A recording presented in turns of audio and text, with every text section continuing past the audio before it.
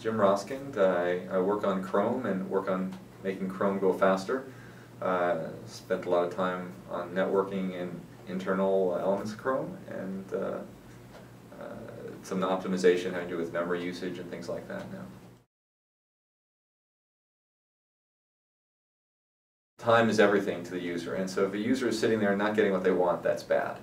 So what we do is, when a page is rendered and displayed, while the user's trying to decide, should I go to that link or this link, we go ahead and we scan and we look at the names of all the domains. We notice it's CNN.com, AOL.com, Google.com, Yahoo, all different places. We look them up so that when they click on it, we don't have to go, uh-oh, what's the IP address? See, all those little names uh, that show up, yahoo.com, actually have to be translated to a number. And usually the user has to sit there waiting. And we don't like it when the user sits there waiting. Commonly, it can take over a second, and a second is a long time to be waiting. In fact, you start going, gee, is the computer broken, or what's going on here? So we go ahead and we resolve all those names, so that when the user clicks, we go, we're ready to go. That's, that's the simplest version of it, and there are some more, more complicated. But fundamentally, we don't want the user to wait, and this is about getting wait time out of the user's hair.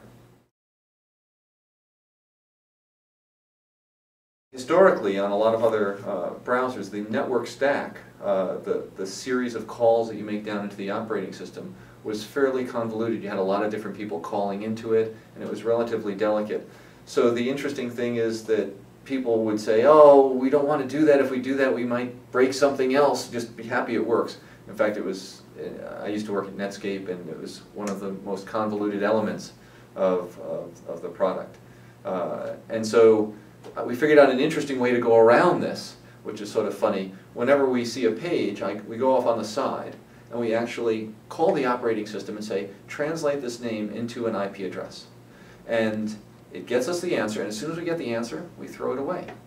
And it turns out the reason why we can throw it away is the operating system remembers it.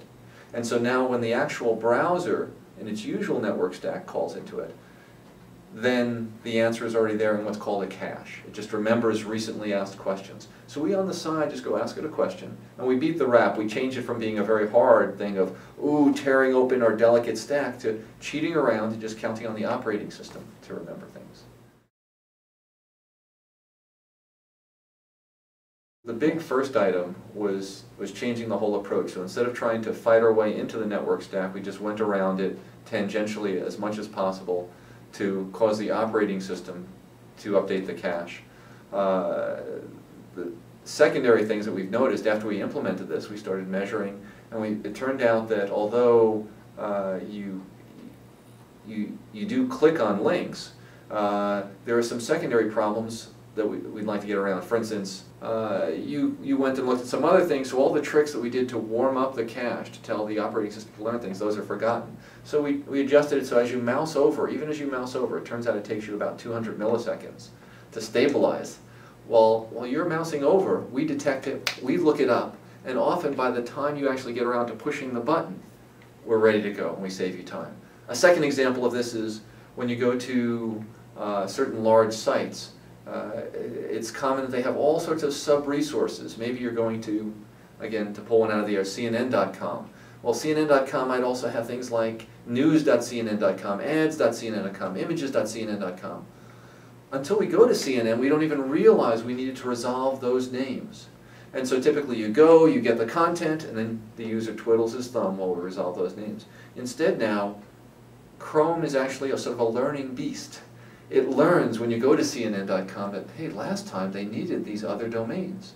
And so it, it writes up a list of different things to get when you go to visit CNN.com. And now, when the user clicks on CNN.com on a system that happens to have visited CNN.com before, it automatically goes and pre-resolves all these additional names so that we finally get in the, the top level content all those other sub subdomains or, or domains, sometimes actually advertises, google.com might have ads, all these things that need to be resolved are all sitting there. Again, the, the entire page comes in faster, the user is happier, user happiness. That's good.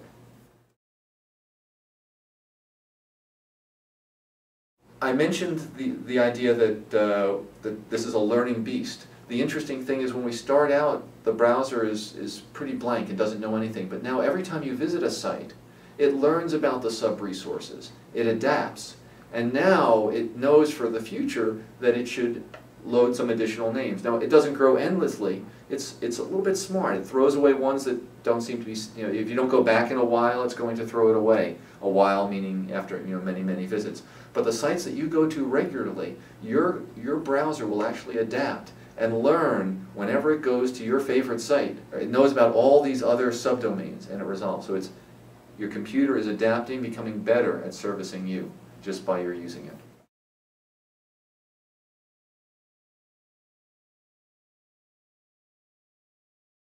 when we did this, I wasn't sure about exactly how much the gains would be, but as we started to measure it, we started to see times in the range of 300 and 400 milliseconds, that's a third of a second. Uh, that's a substantial amount of time. And then we thought about it and realized when we first start up the browser, what we should do is have a list of the places you're probably going to need. And as soon as possible, even before we've loaded much of the binary, call the operating system and ask it to start resolving these things. And now by the time all the dynamic link libraries have loaded, the actual Chrome is loaded, so by the time all that's done, the operating system has resolved the name. And now we finally go, okay, we're ready, get me the home page. And what a coincidence.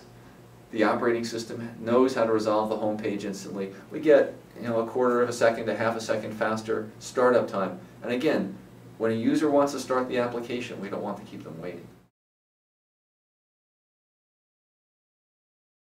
Well, the uh, one, one very critical thing is to realize that we can't just measure it in a lab. We have to measure it out there in the field. Different, some people run on fast computers, some run on slow computers, some run on fast networks, some run on slow networks.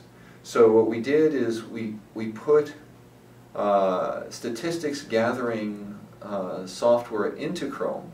We allow the user to opt in, and if the user opts in, we gather statistics for how well all these things are doing, including page load times. We compare how long would it have taken to resolve the name, how long did it take us for the prefetcher to resolve it, and then how long did it take it when we were actually navigating to resolve it.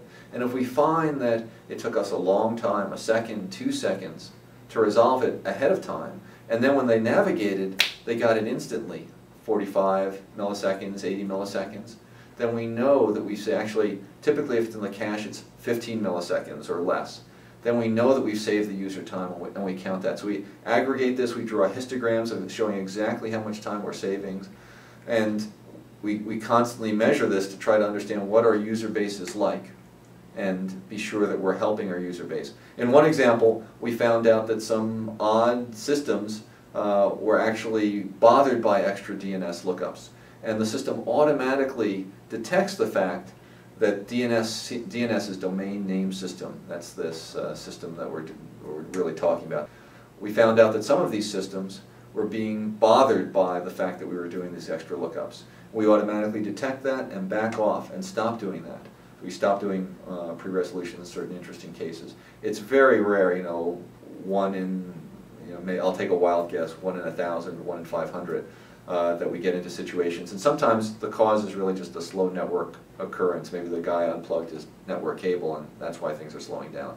But we back off and we come back onto the scene when we think we can do it and be helpful to the user. So one of the things that we worked on is also what we call A-B testing.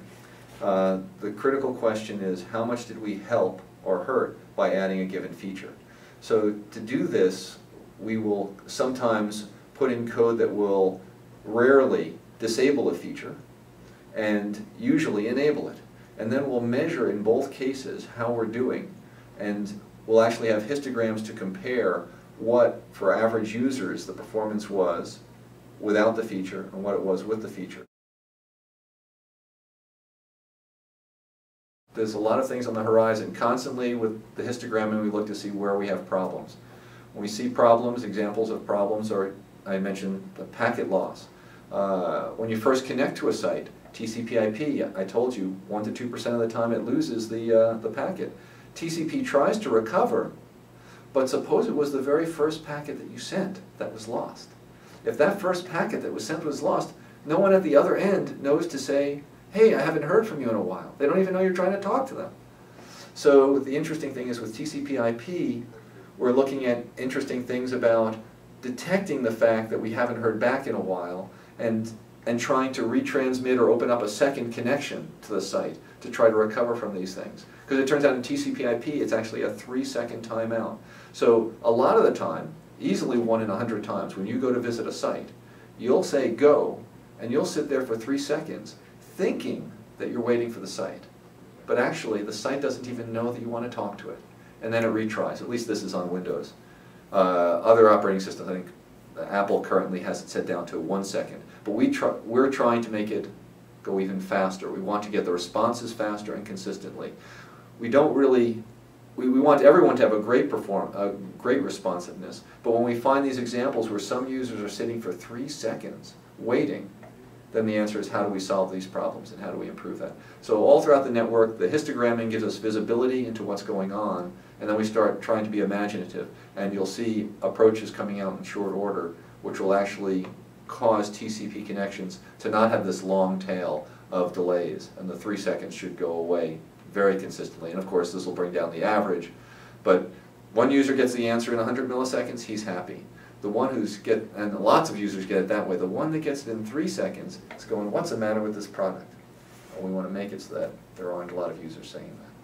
One other thing that some people bring up, as I say, gee, you're doing all this extra work, is this penalizing the whole internet because you're, you're putting your fancy browser there? Are you going to bring the internet to its knees and waste time? And the surprising answer is that even though we do DNS pre-resolution, we actually don't load the infrastructure of the internet very much.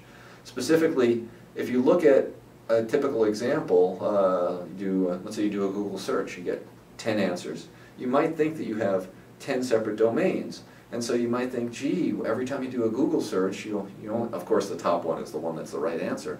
But so you wasted time by looking up the other nine. So the worst case, you could be fearful that you would load the internet with 10 times as many uh, resolutions as it really needed. only needed one and it did nine.